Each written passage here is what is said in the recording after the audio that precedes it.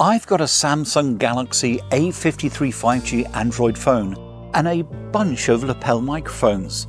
The trouble is that the mics have 3.5mm jacks and the Samsung has got a USB-C connector. So how do you get these two to go together?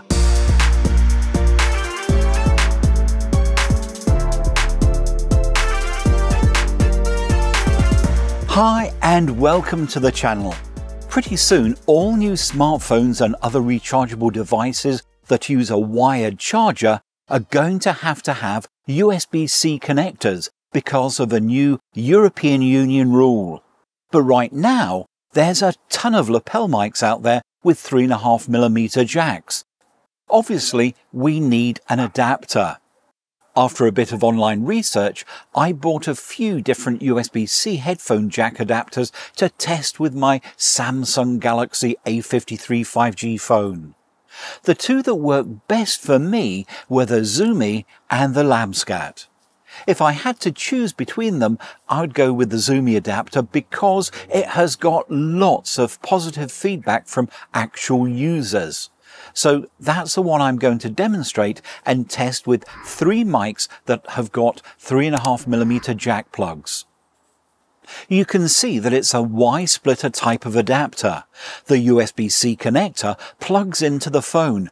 Then you have two short cables, each with a connector on the end. One is a 3.5mm TRRS headphone jack socket that I'll plug the microphones into.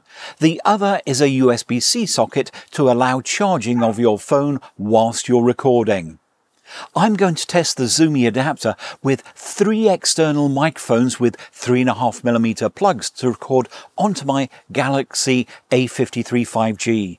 I've chosen the iRig Recorder app to record with because it includes a live level meter and a level slider should I need to adjust the audio level.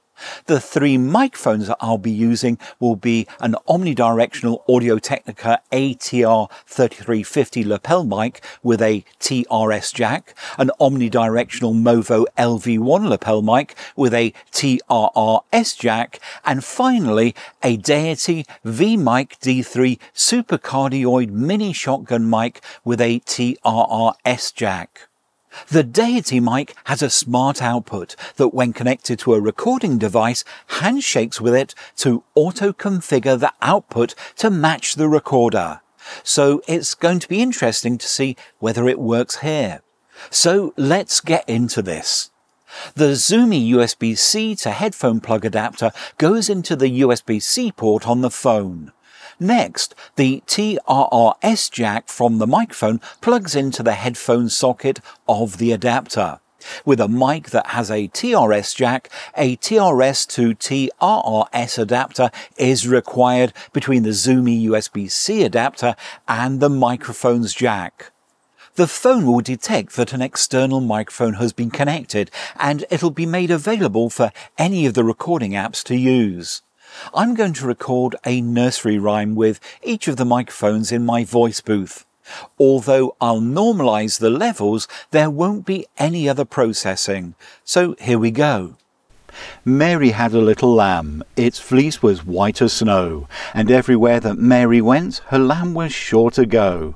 Bar bar black sheep, have you any wool? Yes sir, yes sir, three bags full. One for the master, one for the dame, and one for the little boy who lives down the lane.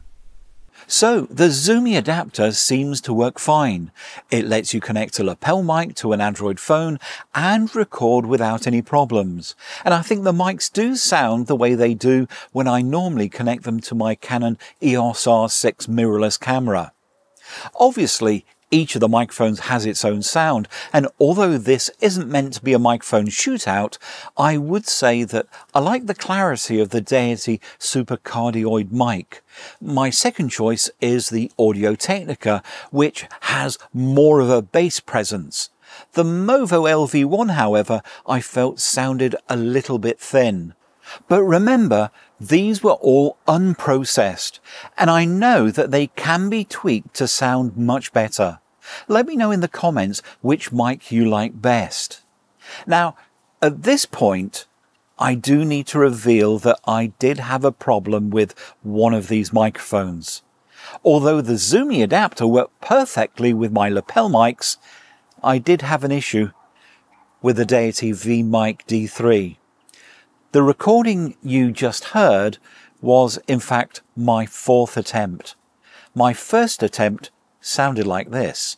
Mary had a little lamb, its fleece was white as snow, and everywhere that Mary went, her lamb was sure to go.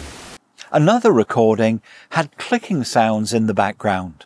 Mary had a little lamb, its fleece was white as snow, and everywhere that Mary went, her lamb was sure to go. There wasn't any consistency, and in one recording, the clicking would appear, then stop for a while, and then start again. Since I have two of these Deity mics, I tried swapping them over, but it was the same story with the second mic. It also only recorded properly some of the time. I did wonder whether it might be the recording app that was causing the problem, so I switched to using the Open Camera app, but that didn't make a difference either.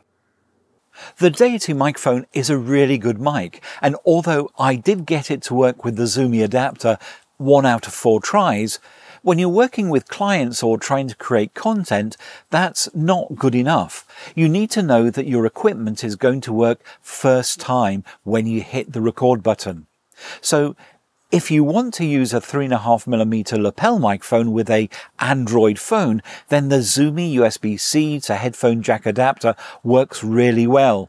With the Deity mic, it was less successful. I've not tested any other on-camera microphones, but I'm guessing that if they have a standard audio output instead of one that auto-configures itself, then it might work fine.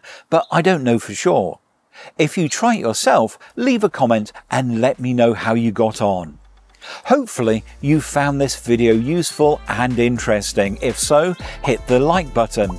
To see more content that helps you record your own audio and videos, then subscribe and click the notification bell. For in-depth articles, you can visit my website, diyvideostudio.com. Thanks for watching, and I hope you'll join me again soon.